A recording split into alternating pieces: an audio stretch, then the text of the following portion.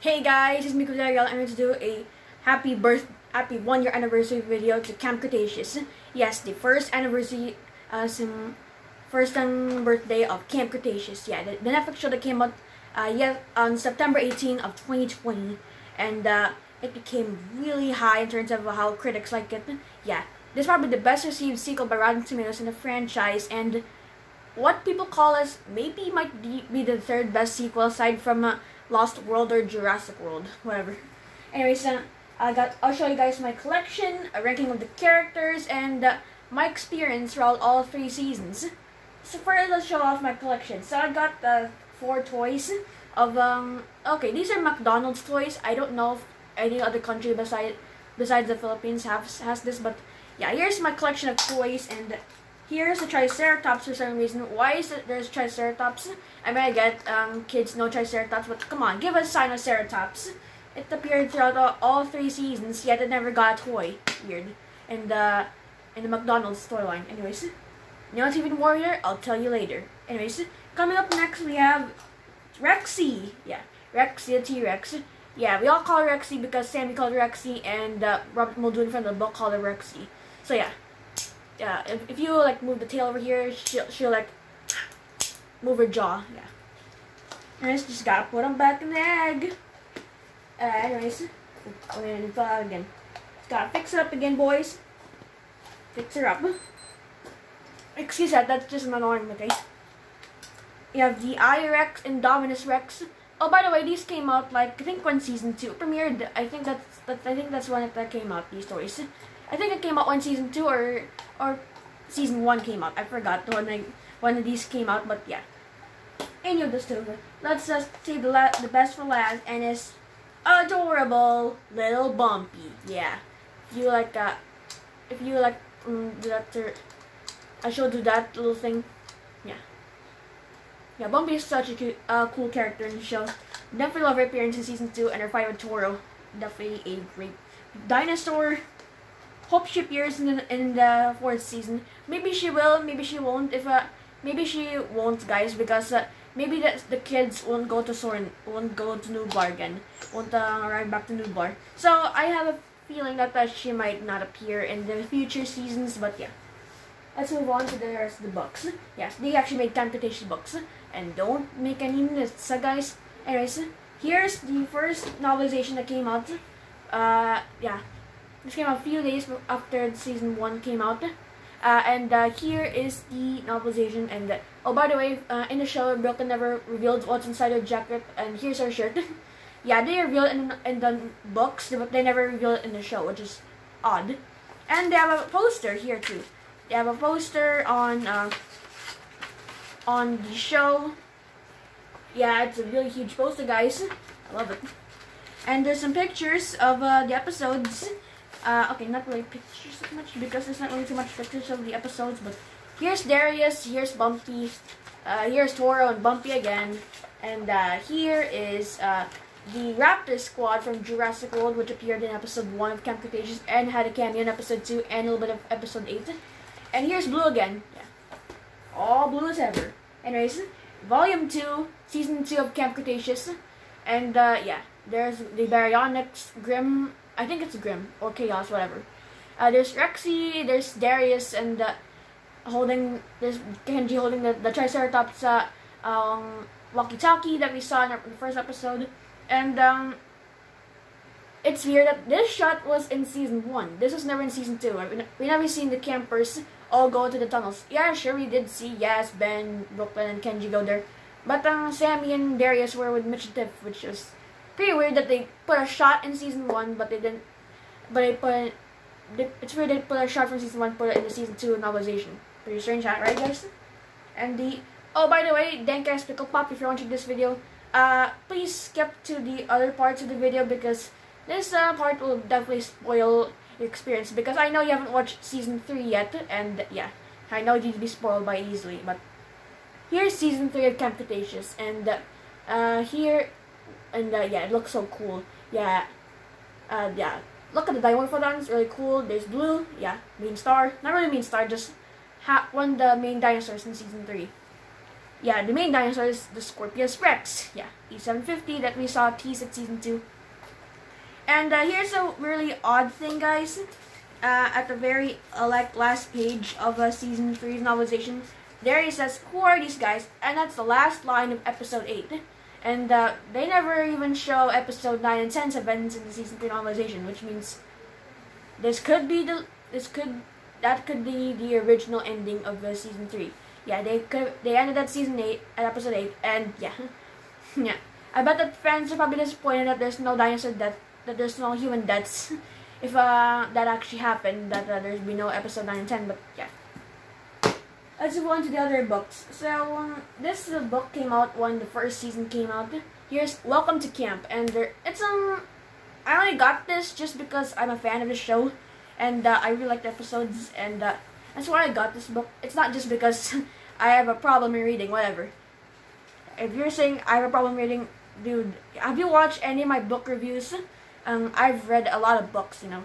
Anyways, uh, uh, here's the stickers. They got some stickers, guys. If you're a sticker fan, you got a lot of stickers. But I suggest don't take them out of the book. It'll definitely ruin the condition. Speaking of the condition, this book has a really bad, it's a really bad spine over here. Yeah, definitely a gnarly tear. But um, I'm still keeping it. Here's the uh, Hidden Hunters with press out figures. This the season 2 with Mission Tiff. And uh,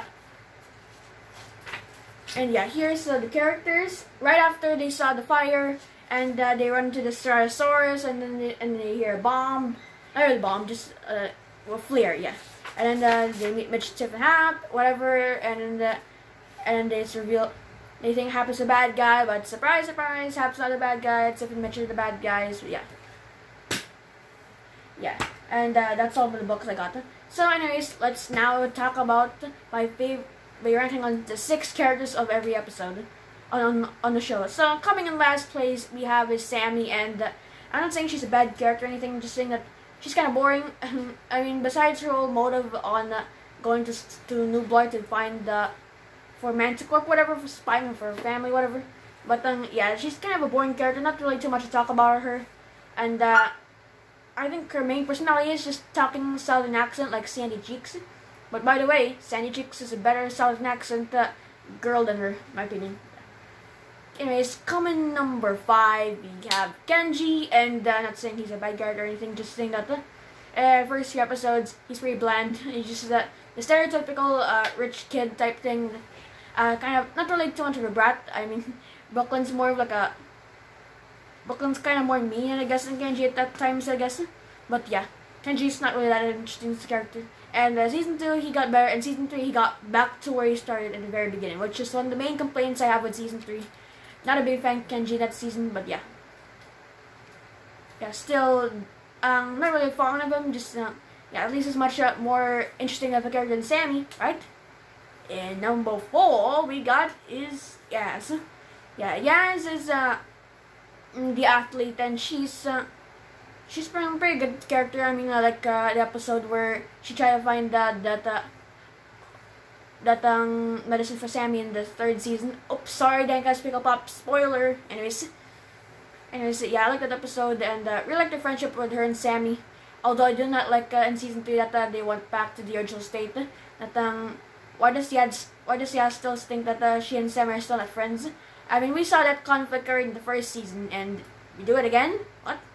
Anyways, top three we got Ben, and uh, he, and uh, I know he's probably probably people's favorite character, but uh, for me in the first few episodes, he's definitely kind of annoying. He's just the, the stereotypical uh, scaredy cat, you know, Carly Beth type thing. But uh, yeah. But yeah, he definitely becomes better in season 2 where he gets all real Rambo and tough guy like a homo habilis or homo neanderthals, whatever. And uh, yeah. Yeah, definitely like his personality more in the second season, third season, but yeah. We like his character arc in the second season. We like that he's no longer a scaredy cat anymore, which means you don't, you won't have to go through like too much screaming and stuff like, of course, Jurassic Park 3, Amanda. Looking at you, boy. Anyways. Uh, number two, we got Brooklyn, and uh, she's a really a good character. She has uh, uh, strengths in the second season. I think uh, that's like her main season, guys, because uh, she got more to do than Darius and the other characters. Yeah, I really like uh, her her episodes, whatever, like a character, whatever. Uh, she's definitely kind of relatable because uh, I'm doing a YouTube channel and she's doing a YouTube channel and she's dropping a lot of followers and sometimes uh, some people unsubscribe from the channel, which I'm looking at you guys who unsubscribe. Mm, I'm giving you the dirty look. Anyways. Anyways, yeah, let's move on to number one, Darius, obviously, because uh, he's not just a dino nerd, he's also pretty smart. He's also probably the most intelligent of the group. He's the only one who doesn't too much dumb decisions. I mean, seriously, in season 3, yes, just uh, finds the, the Morphodon eggs and just like... It. And, um... And yeah, doesn't uh, really react too much about it till the Morphodon shows up. Yeah, pretty weird. Anyways, uh, yeah, and yeah, Darius is a pretty good character. He's really smart. Really like his backstory between his dad, him and his dad. Yeah. Overall, that's my ranking on the six characters. Now let's talk about my experience through all three seasons. So, how did I get into Camp Cretaceous, you may be asking. Well, I got into Camp Cretaceous just because, because of my mom. She told me think uh, about the show, whatever, that I should watch it. So I went up to my parents' room before I went to bed and I watched the first two episodes. Really enjoyed it and uh, at the end of episode 3, I was like, what just happened over there? and uh, I really want to watch episode 4, but it's um, my time to go to sleep, so I I had to go to bed, so I turned off the TV, and I watched 4 to 8 tomorrow, the next day, and yeah, I had a really good time. Yeah, I let my mom watch the show too, she enjoyed it too. Yeah. And it's uh, to season 2, I also, before season 2, I introduced my relatives to the show, and they really like it too. yeah. And by the way, my uh, younger cousin, one of my cousins, uh, she has also the the eggs too, and uh, she doesn't really watch Cretaceous just because uh, she's still three years she's still three years old, turning four by the way, and uh, she she is um and um there are deaths in the show, and um you can't have a younger old young kid watch deaths in a show or a movie, right? So that's just some uh, things that why she can't watch the show, and also it may be scary for a girl like her. Yeah. And just before season two came, when season two came out, I was like, "Come on, hurry up! Come on, come on, come on!" And uh, yeah, I was really excited. Uh, the first time day, I think it was this January twenty second. That's the day season two came out, whatever. And yeah, I check I check on Netflix every time, like I think every hour, whatever, waiting for season two to come out. Unfortunately, didn't. But I think around uh, four o'clock or five o'clock uh, p.m.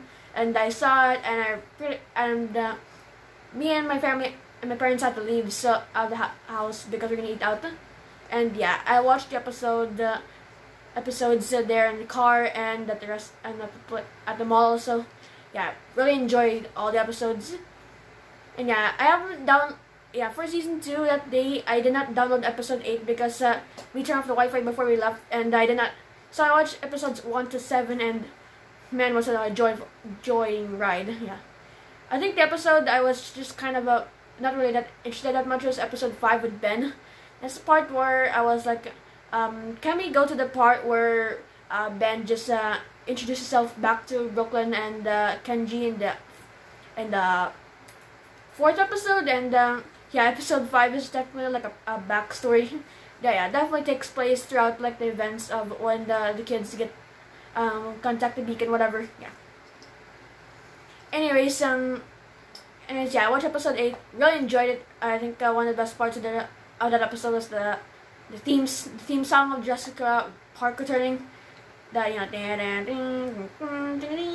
yeah, that one, yeah, and um, yeah, I really got sad over Grim's death. That's something like a oof moment. I didn't didn't uh, shed a tear, okay? Anything? Don't get mad at me, guys, okay? Don't get mad. But yeah, I just hey Grim died, yeah. And good thing Death got to come up and set the very end of the episode. And uh, let's move on to season 3. We're done with talking about the first two seasons experiences. Uh, season 3, uh, I was also really, really looking forward to that season 2. yeah. Watched the trailer again, and uh, yeah, when the trailer premiered, I think it was Japanese, whatever, the first trailer premiered. Yeah, I watched it a lot, and I was waiting for Swerve and Clayton for your this video about the, um, their thoughts on the trailer. Yeah, yeah, but they're sleeping that time, I guess. But yeah, but yeah, there's Best and Slot who, who did like a trailer thoughts, whatever. And yeah, I was uh, yeah really looking forward to to the season. And then the English trailer came out, and I watched the old trailer again, and yeah. And yeah, oh, I, by the way, I actually introduced my my two friends uh, to my show, which uh, yeah, one of them is uh, is Clyde Rexter. Yeah, both of them. I I introduced the show to them, and uh, yeah, they like they love it too. Yeah, and uh, the next. And yeah, when the season three came out, I was um, I wasn't ready. I just watched the first I think three episodes in the in my phone, and my mom told me to watch it on TV. So I watched it on a big screen, and yeah, definitely enjoyed it. Yeah, still can't believe how long that season was throughout all ten episodes. Yeah, all ten episodes, guys. And yeah, I definitely was kind of shocked over that the Jurassic Park book reference and the uh, really like the kitchen scene reference again. The Fallen Kingdom reference kind of took me by surprise. Rexy coming back and uh, and the Scorpius Rex. yeah, definitely a creepy dinosaur that should not be messed with, guys. Anyways, that's my experience with Camp Cretaceous, and yeah, happy anniversary anniversary to one of my favorite shows of all time. Yeah, definitely the best net Netflix show. yeah, uh, definitely a show that you should must watch on Netflix. And yeah, here's the toys and the and the eggs. Yeah. Oh, by the way, these are like Happy Meal toys. If uh, you weren't lucky, then yes, you would get them. But unfortunately, there's no more of these uh, Jurassic World toys anymore. So I kind of feel sorry for you. Anyways, um, anyways, uh, oh by the way, there's actually one Jurassic Park uh, uh, book I don't have yet. It's a book about Ben's adventure in episode 5, which I do not have that book yet. Uh, that's the only Cretaceous book I don't have.